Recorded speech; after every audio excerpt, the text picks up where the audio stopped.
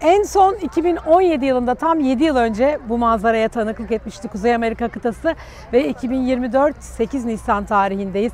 Saatlerimiz 3'ü 10 geçiyor, 15-10 ve şu anda bir alacakaranlık görüntüsü hakim. Herkes solar gözlüklerini takmış. Güneşin tutulmasını, tam güneş tutulmasına tanıklık ediyor. How is it feeling? Amazing. Amazing, right? İnanılmaz bir görüntü olduğunu söylüyorlar. Herkesin elinde burada NASA'nın dağıttığı ücretsiz solar gözlükler var. Son derece büyük bir kalabalıkla ev sahipliği yapıyor burası. Biraz göstermek istiyorum. Telefonlarının lenslerin üstüne de bu gözlüğü taktıklarında insanlar ben de şu anda size ne gördüğümü anlatayım.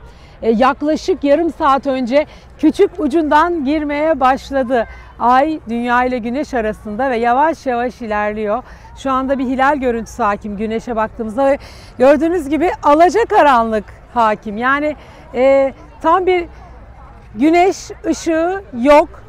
Son olarak dediğim gibi 7 yıl önce olmuştu ve bundan sonra da tam 20 yıl sonra tam güneş tutulmasına ev sahipliği yapacak.